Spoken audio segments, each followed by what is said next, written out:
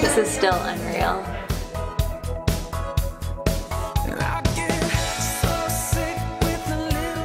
This is this is what the gift is. I know how much you like antique compact mirrors, so I got you the prettiest one I could find to remind you of how beautiful you look today. Oh, that's nice.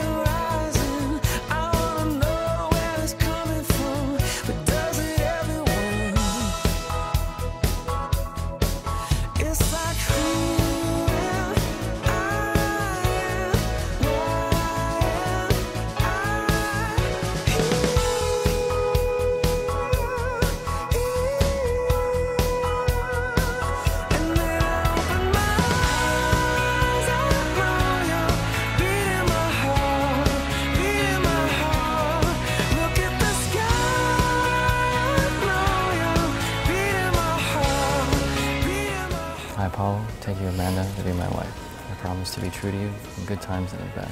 In sickness and in health, I will love you and honor you all the days of my life. My dear friends, you have declared your consent before the church. May the Lord in His goodness strengthen your consent and fill you both with His blessings.